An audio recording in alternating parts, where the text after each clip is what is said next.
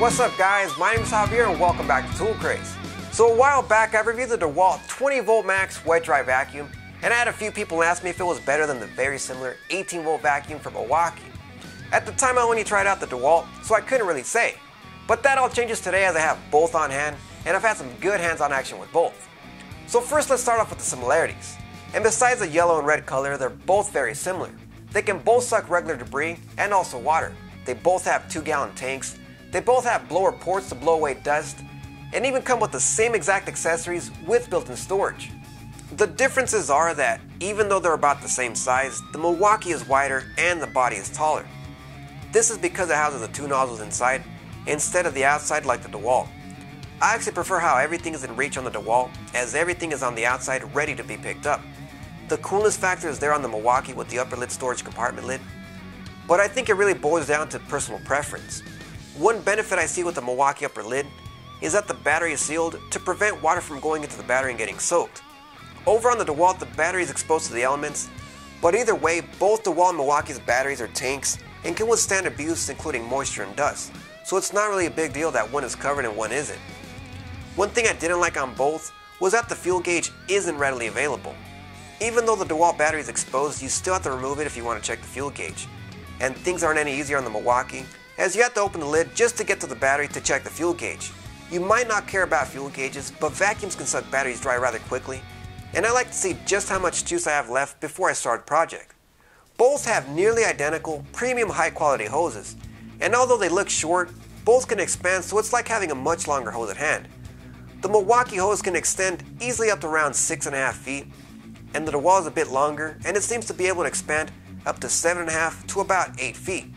Both vacuums have a spot reserved for the hose, but I prefer the design on the DeWalt as it nicely wraps around the unit out of the way, while on the Milwaukee it just sits there on the side and flops around during transport.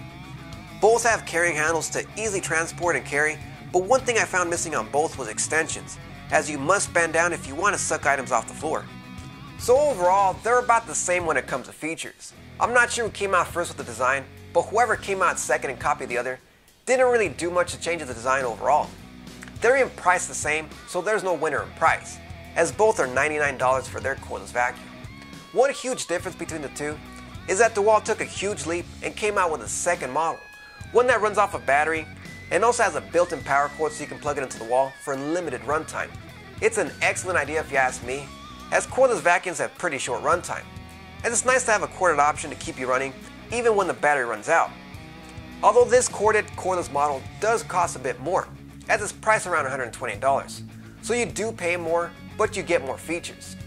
As for performance, there's a pretty big difference between the two.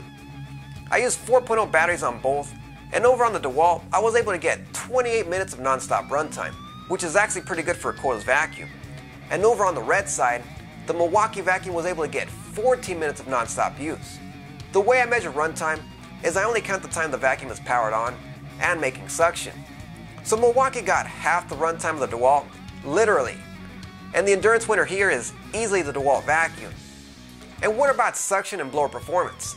Well, let's take a look as we compare them both side by side. The first demonstration is dry pickup, while both are picking up exactly the same amount of sawdust.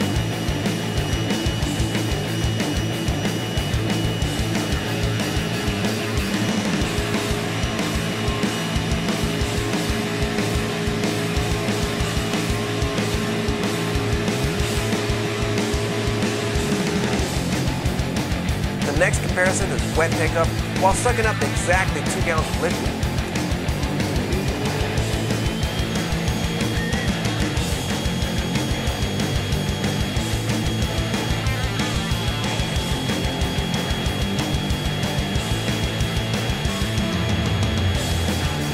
Now let's move on to the blower performance, and I'll be blowing away a bit of sawdust, wood chips, and even debris such as leaves off the ground.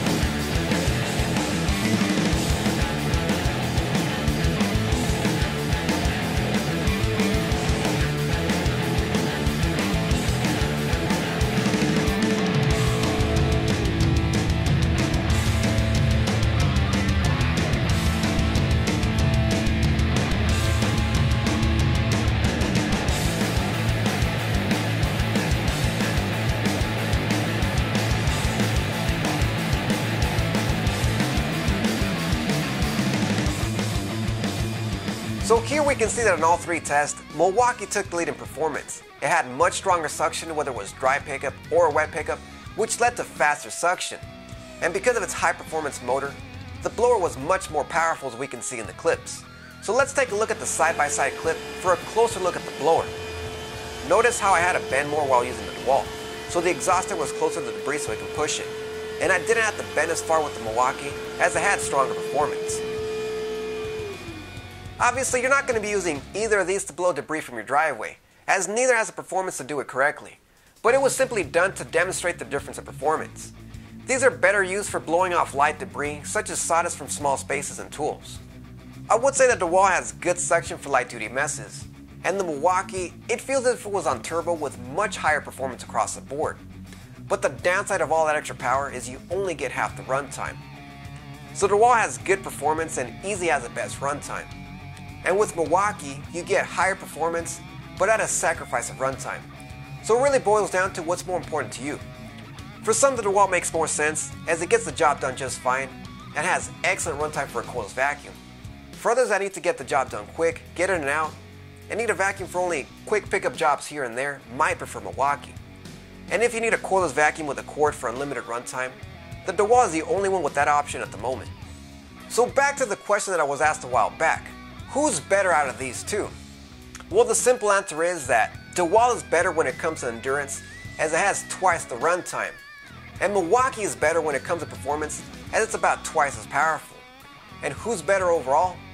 Well, I think I'll leave that answer up to you. Alright guys, thanks for stopping by. Let me know what you guys think of the results and who do you think is better. Also make sure to like this video, subscribe to my YouTube channel, follow me on social media, and for more tool info, check out the official website toolcraze.net. So thanks for watching and I'll see you guys next time.